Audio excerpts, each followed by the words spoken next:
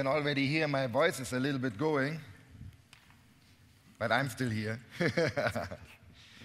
we want to talk about growing startups. And I ask you, everybody gets a couple of minutes, tell me a little bit from the first day until where you are now and how you really managed and what were the big challenges for you guys. okay. Florian. Um, yeah, we started in 2012. Actually, we started in 2011. Um, and formerly, I was involved in a B2B portal that sold inventory, PV modules, and, and inverters to um, wholesalers, installers, manufacturers. And when we approached utilities, they were like, don't get me modules, we need a business model. So try and get us a business model with which we can sell entire systems to end customers. And that was actually the idea um, of founding Greenergetic, which is similar to what uh, some American companies are already doing, or were already doing back in 2011. Um, basically, the idea is to have an online portal through which end customers can very uh, easily buy their PV system. And in order to save some money on marketing and stuff, we decided to provide this as a white label solution to um, utilities. And by means of using this, this online portal, utilities can, at the end of the day, sell PV systems to end customers and small residential, uh, sorry, um, small commercial and residential customers um, with no hassle on their side. Because if you know what a utility looks like, it's a huge company, many people involved, but getting processes and everything established within this company uh, is a pretty pain in the butt. So um, they are happy to have this business model outsourced and just have someone doing it for them. So it's not only the portal itself, it's also we do all the sales and, and um, operation. Did they take you seriously from the beginning when you were a small no. startup? In fact, they, I mean, depends. the, first, the first portal we sold just on a, uh, uh, with a slide deck. We didn't have anything there. And they were like, that's great, we buy it. Um, and then when we delivered the actual portal and it worked, there were even more uh, utilities coming. And to be honest, back in 2012, it wasn't too common um, that the future energy world be, will be full of startups and stuff. So um, three, four years ago, I think the whole utility landscape was a bit more like well, there will be change, but actually we don't see that so much and stuff. And now it's much more urgent, and um, so we found out that the more we sold, the more relevant, relevant uh, we became. And today I think it's pretty common that you sell PV systems to your end customers. So in a way, uh, we changed the perception of um, the self-perception uh, perception of some of the utilities. Okay. So that did work. Yeah, Thomas? one question, ah, if I okay. may. So what do you think is the, the typical life cycle of a project with a utility coming from a startup, from first contact to the pilot project? What do you, what do you say? Typical is difficult because it's, it's such a wide span. Um, the fastest one uh, was just two weeks. So they were like, we need that, we want this, we need this. And in two weeks, there's a trade fair, so we want to present this. Uh, and we are able to, to move very fast, but the reality is that from the time that you have a meeting with the CEO or whoever in this, uh, in this utility and the actual execution of the portal, it can be anything between two weeks and two years. We have companies that took like two years to decide whether they want to enter into this business and stuff. It's, I mean, it's utilities. Um, they have a yeah. longer, longer lead time. yeah, I mean, they, the they have many advantages, but being fast is not the First I think, I mean, I mean, we saw the same thing at Tado, yeah. um, working with, uh, with the large utilities, other corporates. And I think it's just really important that there's a huge opportunity in, in revenue that comes very early for the startup in order for um, yeah, them to actually commit the resources for the first project yeah. um, and then, then do it, because otherwise they'll just be uh, completely, um, you know, break out, yeah, essentially. Thomas, how did you start uh, this incredible company and what were the big challenges you were facing during the last couple of years to grow from one founder to a group of how many are you now? Uh, actually, two founders to 500 uh, okay. people.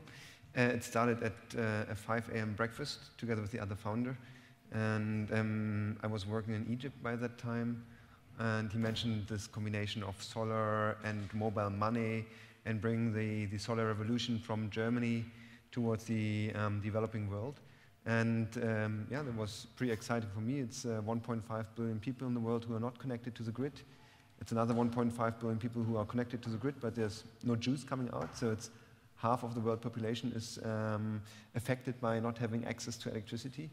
And I thought, well, if, if Mobisol could actually build a product service around that and provide a solution for 3 billion people, that would be pretty cool.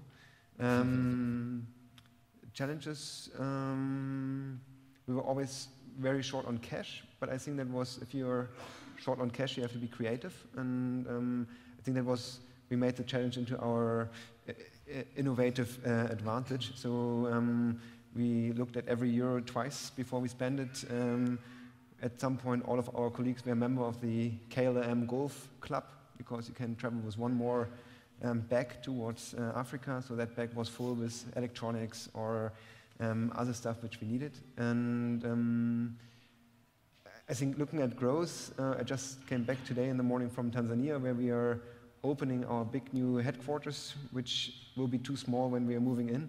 So it's, wow. it's, it's a, a, constant, um, you have to constant move yourself, you have to constant reinvent yourself, and um, you need to have an appetite for that, right? So uh, at some point you might get tired of all that change.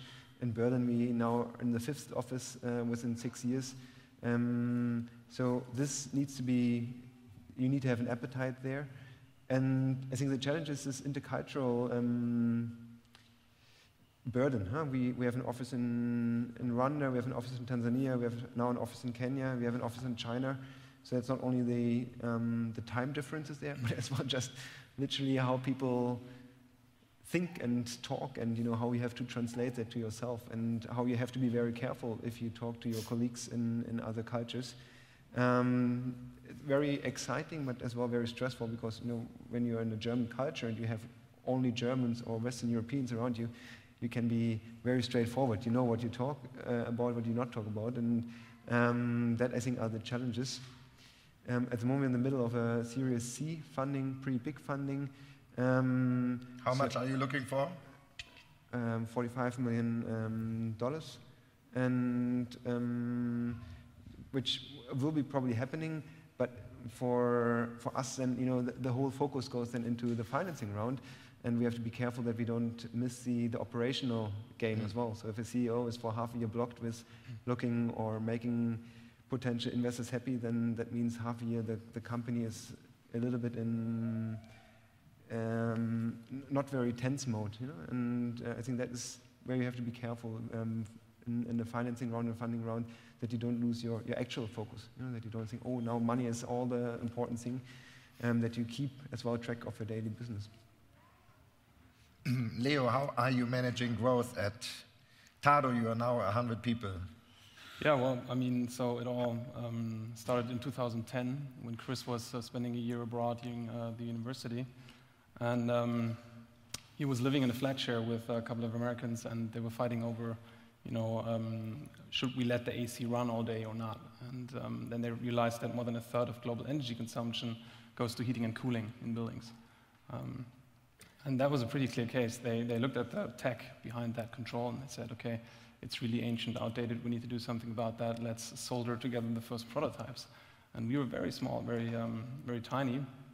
But what was very, very important at a very early stage was to have customers um, that um, put a lot of effort into giving feedback. So we spent um, nights and days in, in, people's homes looking at how they use the heating system, um, installing these horrible little prototypes. Um, and now we are here, having received uh, 20 million from our friends at InVen, and need to put it into the right channels. So um, it's it's crazy. You have so many dimensions uh, between these series. You have organizational issues, you have a product, product to market fit issues, really making, I think, um, a product that people want, that people are willing to pay money for, is um, a whole different story compared to just making a technical solution for a problem that we came from from the US, you know, with the ACs. Um, so I think that was that was the biggest challenge in the beginning to to um, get the product running and then finding um, a packaging for it, not the actual packaging, but you know how you present it, how you position yourself, that people take the credit card and actually pay money for it. And then at some point, um, I think um, as you move down the classical like um, life cycle of crossing the chasm um, of new technologies, the channels that you put money in, they change with the target groups you want to reach. And we're now at a point where we kind of move into the early majority of, of people, um, which, is, um, which is nice, which we can only do because we put so much um, effort into the compatibility of our product. Because if you do TV advertising, for example, and the product can't be used by 50% of the people, then the spread is so big and the customer acquisition costs will go through the roof. So um, we always had a huge team, like at least five or six people in the beginning, just working on compatibility, we, making sure that the little commodity box of a smart thermostat can go anywhere, make any boiler smart, and then the actual music plays in the services and the app around that. Hmm. Thomas, uh, you have 100 people here in Berlin. Are they doing mainly what? The technical development, the management of the company? Um, or do you also have uh, uh, technical people in Africa and developing a solution, a technical solution over there? Mm, actually, it's, it's, a wild mix. So headquarters here in Berlin, but then we have probably as well seven German engineers uh, in, in, Tanzania, another two in, uh, in Rwanda. We need that feedback loop, you know, otherwise you're sitting here in Germany, the white engineers doing something really great, what comes to their mind, but there's no connection uh, to the market, right, the product fit. And um, so it's, it's um, the whole um, financial, um, financial of the group uh, are meeting here in, in Berlin. We have management teams on the ground, but you know, we would like to have it as, as a group um, set up so that not every um, daughter company is inventing the wheel again. So everything is reporting to, towards Berlin. And um, yeah, firmware, software, I think we have by now nearly 20 software developers um, who are taking care of apps of the database. And um, so it's, the, I think the interesting thing is that uh, a product like this was not existing before, so it's a complete new sector. Um, solar energy um, paid by, by loan in an off-grid uh, surrounding, so in rural Africa. So it was not that we could look at somebody else, at a competitor, and say, hey, they do it in green, we do it in, in red, because we think that red is the more attractive color. Everything needed to be um, understood first and adjusted, and that, that took us quite some time, quite some headache. And um, yeah, but with, with a team now of, of um, very dedicated um, colleagues, that, that actually becomes a fun factor as well. I think, you know, asking for the pain of, of growth, of starting, it's, for me, the biggest one is finding the right people. So um, from starting with two, going to, to 10, going to 20, if, if you have a bad apple there, you know, it, it, can start as well that other sort of good apples become rotten as well. Mm. So choosing the right people is for me, I think, the, the biggest challenge from a CEO uh, perspective to yeah, achieve what you want to achieve in such a fast-growing um, surrounding. If you have, again, if you have one person in the team you can't rely on, it's like playing football. You rather play with 10 people than with 11 people if somebody can't stop the ball. And that, that is still an issue for us to, to grow that talent um, pool. I mean, being a founder and being still the CEO after so many years, I mean, it's a really big learning curve. Mm. Did you um, expect that one day you would be managing 500 people still as the CEO? What is your secret? I think my, to my still be the boss. My secret is that I tell my wife always uh, another two years, and then we will move back to Australia, where she's from. You do that, I, that as well. I tell, I tell that since quite some time. I tell myself that as well for quite some time. So I actually, when we started, I thought that after one year we can sell off that, that business. Mm. I, I, you know, when we started, I was 28 years old, very naive. Now I'm 33 years old, still re relatively naive. Um, so that helps. Um, and um, I have, a, I have, a clear exit plan for me, but that again is always moving by two years uh, in front of me.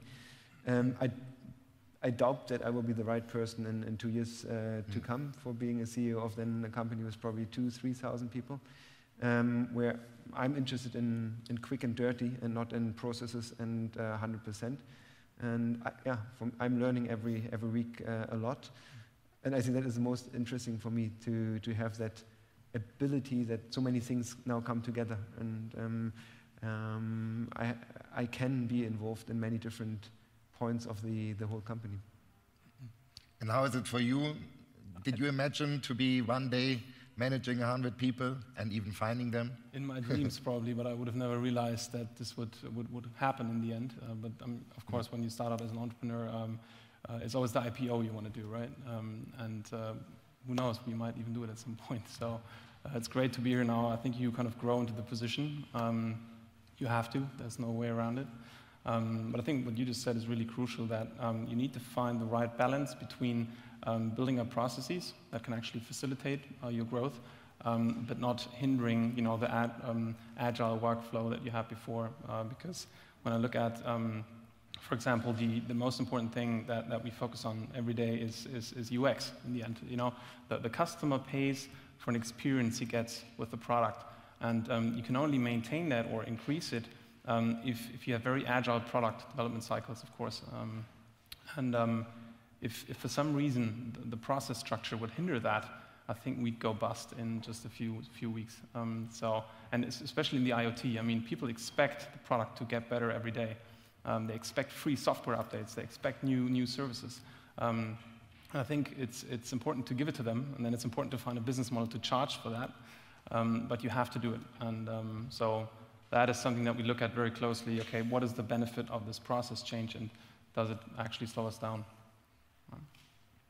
How much is the competition and, and what the competitors are doing relevant for, for your own daily decisions? I mean, for example, you in Africa, when you started, I think now there's a, a number of companies doing a similar model, and you are being copied by some other people selling PV systems online is, a, is now a, an idea everybody thinks it's, it's, it's standard. And even you guys have a couple of competitors. How big is competition a driver for you guys? Mm. For us, the competition started about one and a half years after we started. Um, and when I think the idea to sell PV is quite smart, um, but selling it through utilities um, is an obvious thing for those who act with utilities because um, they see that, that utilities are slow uh, moving and if you give them ready to use solution. Um, so today we have about five competitors who do it, who do the same approach, and the only way you can um, uh, you can distinguish from these competitors is by being faster and exactly by um, yeah by telling yourself that done is better than than perfect and, and getting things done, um, testing in the market, and then see what works and what doesn't.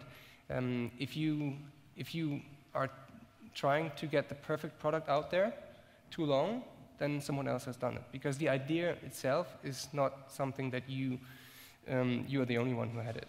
So mm. execution of the idea in the fastest and still um, a decent way is very important, I think. Mm. Thomas, how is competition driving you or not driving you?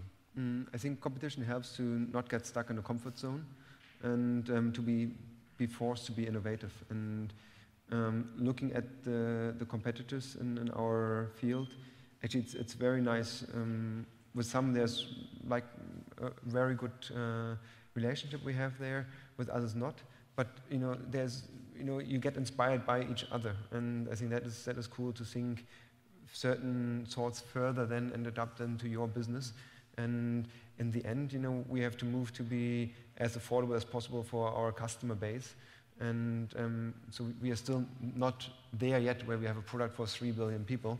Mm. You know, we are there where we may have a product for 3 million people. So we, we have, have 50, 50,000 customers. We have by now 50, well, roughly 50,000 customers.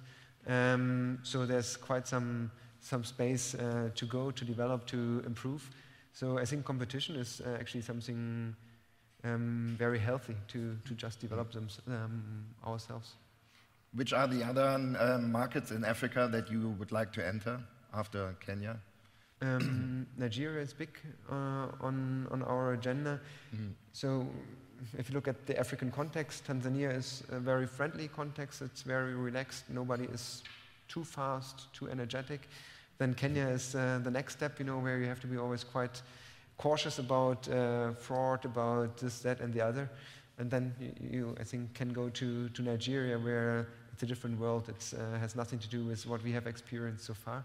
So far, it's, it's, uh, it's a step-by-step approach toward the, the huge market of Nigeria. Uh, Nigeria actually has an electrification rate of 60, 64%, but um, the, the, real electrification is below 10%. And Nigeria has 25 million generators, small generators, and um, well, the Mobisol system is today already cheaper than, than such a generator. And so uh, then if you have the right team, if you have the right understanding of the market, it's actually going there and uh, attacking. Mm. Um, you, you have to be mature enough to do so. How important is a lot of capital for you guys to be faster than the competition? Well, um, I think capital is, is one of the main pillars. I, th I, think it needs to come at the right time. Um, of course, if you go down the VC road, uh, you know, if you need, need cash, it needs to reflect um, your demands and it needs to reflect uh, the valuation of the company. Um, and um, you know, when, when, when Nest started um, a couple of years back, um, to be honest, we were very shocked in the, in the, in the first moment when we saw the product. It's beautiful, you know. It's, it's everybody um, thought the days uh, of Tado are counted, right? That's what everybody thought. That's right. Um, and and then and then the Google deal came, and um, it was it was um, there's a huge, you know. Goliath of, of, of, of, a competitor in the market, um, but at the same time, it's also um, a, a nice proof of concept. And then we said, okay, this is our home turf, this is Europe, let's win this, um, and really focus on, on making us compatible with all the um, you know, uh, European heating systems and being able to, to um, actually connect people and then being able to um, offer services from these interfaces that we connect to that Nest can't. And then we saw Nest is paying a huge amount for marketing. That's actually pretty nice. Um, so they are building up the category. Um, they're building up the category when marketing is still very expensive, you know, when, when, when the customer acquisition costs are very high.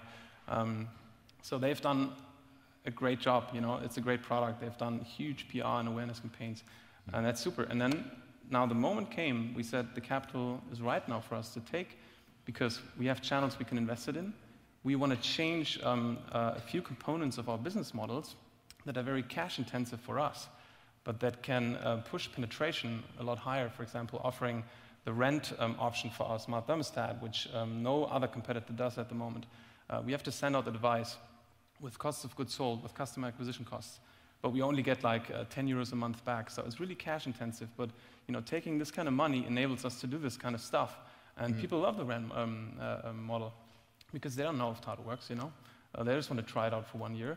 But then when they do, they don't churn, which is even better, you know. We have customer lifetimes of uh, higher than 10 years, um, which is, uh, it's, it's, it's, just the right moment. So um, it's good to have it now.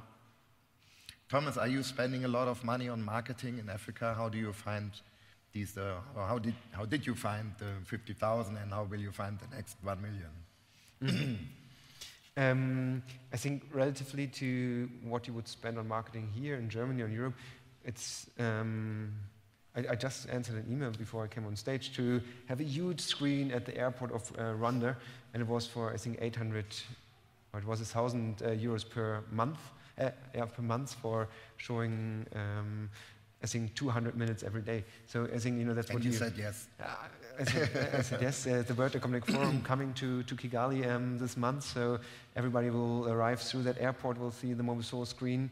Um, it's you know I think you would pay that probably per, per day if you would do it somewhere here in uh, in, in, Germany. Um, but yeah, it becomes a more and more important thing for us as well to to build the Mobisol brand, to get the word out there. We made a a huge campaign last year in Rwanda, which we as well uh, continued in Tanzania, where you, for 50 cents a day, you can get um, power in, in your house, basically. So to compare it, you know, what is 50 cents? 50 cents is half a haircut, so we had a, an afro there, which was half shaved and half there. And to, to basically, yeah, underline how cheap it can be to actually mm. power your household. And, and your business is also capital intensive because you are owning the asset on the roof, right? Or, or how does it exactly work? It's, it's, a rent-to-own concept, so similar, um, where we have three years of um, payback period, mm. and uh, it's incredible, um, uh, intense. Um, we had, uh, I think, $20 million, $22 million revenue last year. Um, we will pre-finance around, I think, $18 million of equipment this uh, year. Next year it will be doubling. So it's, it's a huge amount of, of money you need. For us, the unfortunate um, detail happens is FX risk. So the Tanzanian shilling has lost last year 23%. So we wow. lost basically all of our profit line was gone by, by an FX risk or by an FX loss. So that was pretty heavy for us, and we have to manage uh, three years of. Are you hedging now in a way? We we started hedging actually, yeah. and um, which yeah, is eating into our profits, but uh, is giving us the security that we are not uh, standing there again with um, uh, a red zero actually by the end of the year. Mm. In, in your case, I, I always uh, wondered why you don't go directly to the consumer. But I think in the beginning you were really short of cash, right? And you, you had to go B2B well, in order to, to save marketing budgets. Yeah, I mean, we looked at the American um, uh, business models, which is Sungevity, Sunrun, SolarCity, and mm. these guys. And then we looked at the market, and uh, A, yes, we were short of cash to do that, and B, it doesn't make sense to go directly to the end customer because if you have uh, these regional brands, and if they let you um, use this regional brand, which we do by providing the portal to the utility, um, then why spend um, loads of money in, in marketing budget? Uh, if you have more than 1,000 utilities that already are with the customer, they have the, the, typical region utility has like 80 to 95% of these customers in this region. Mm. Um, so uh, we thought this might be a smarter idea. Mm. Then raising a lot of money, even if we could raise that money, I don't think if it would have been the best idea to spend it on marketing. We rather spend it on the product. Mm. So that was the idea. and Thomas, um, are you installing the systems um, on the customer premises? You have your own people riding there on the bicycle, as we saw yesterday. They're all employed by Mobisol, or do you have third-party freelancers? Yeah, and they're not employed by Mobisol. They are commission-based paid. So. Mm um, they are trained. We have a Mobisol Academy um, wow. where we are training um, the staff basically because they are our face of the customer world. So we don't see our customers, right? Mm -hmm. They um, have contact with a sales agent, which is not on our payroll. They have contact with the installation technician, which is not on our payroll. So we have to be very concerned that um, if a customer meets uh, a Mobisol face, that you know, there's a, the good, uh, a good behavior and the right quality and um, through modern technology, having apps, you know, where you have to make a picture of your installation. Um, we have a, um, a, courtesy call 10 days after the system was installed, so we ensure that the, the right customer satisfaction is, uh, is given. But yeah, so I think the issue there as well, if you have installation, we have 400 uh, freelancers, so on top of the 500, another 400 freelancers. Um, they need to be motivated by themselves, right? By mm. commission, mm. that they go out and that they work hard. Mm. Um, if uh, they would be just on our payroll, we would have a huge overhead and um, yeah, would not survive. Mm. And uh, you don't need installers, right? Um, basically, the customer is um, the installer. Yeah, that was the very early phase. Um, I mean, okay. we, we, designed the product um, to be um, a solution that you can self-install, and all of us in this room would be able to do so, of course. How many um, were able? Sorry? How many turned out to be able? yes, I, I, mean, in Germany, the, the self-install rate is, is very high. It's, it's more than 90%. Uh, mm. It's a little um, lower in, in the UK because they have high-voltage systems, uh, for example. Um, but I mean, uh, the, the, more we move into the early majority, the more people will just not want to have to deal with it, you know. So we do offer it as a service um, to the consumer, um, but there's a second side to it. So in the future, we want to um, be very close with the installers, and, and we work on that a lot because um, there's more to offer from the installers. There's, um, for example, um, if you have a problem in the boiler, uh, we can send the error codes directly to a um, remote monitoring backend um, for the installer, and he can check exactly what's going on with the boiler from, from afar and uh, take the right spare parts with him and um, you know put them in the car. He only has to come once and fix it right away. Mm. In the app, um, the consumer sees a fixed price. You can just press a button and it's dealt with. You know, and you know the we want to make the heating boiler sexy, but it's not it's not going to be um, the the most desirable object you know um, in your living room that you want to think about all the time. So having these services around that that make it very comfortable to deal with it and just have your green check marks around it, I think that's what, what gives you a little bit of a goosebumps effect in the end. And how many installers are there in all the countries um, that, that you are dispatching that are working with you already? So um, depending on the market, we work with, um, with, with um, like, you know, contractors that have um, you know, multiple installers. Um, we have our own database of installers, so we build up mm. several tracks to have them, uh, for example, in, in, in Germany, uh, we have about uh, 15 to 20% of all installers already signed up um, on, onto our system. The, the uh, Tado Professional program, it's, it's growing very nicely, so uh, we're on a good track. Okay. We are coming to an, to an end. Um, a final piece of advice from a big startup to a small startup sitting over there, or maybe online, that wants to go big. What is um, the key thing they should keep in mind? We start with you. Again. Um, get the product right and get it out faster than the others.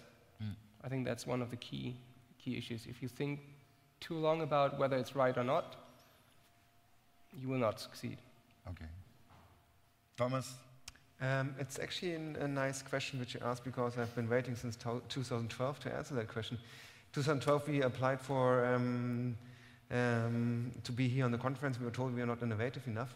So um, by me, I don't know by whom actually it was. Uh, it was me. Um, I think it's, it's, even young can make mistakes. I think it's important. I think it's important for a founder to, to know when to exit. You know, to if you really are on the right track or not. Um, you know, you get feedback from the outside and you have to digest it. You have to understand is it a positive one or not. I think you have lots of founders who spend 10, 20 years on their idea and they will they should have better stopped after one or two years and have done something else and then um, excel. So, yeah, I think try to, to listen to yourself whether you're really on the right track, and um, but as well, don't get disappointed if other people don't think that you're on the right track. Um, I think that is yeah the, the little advice I have for, for a founder.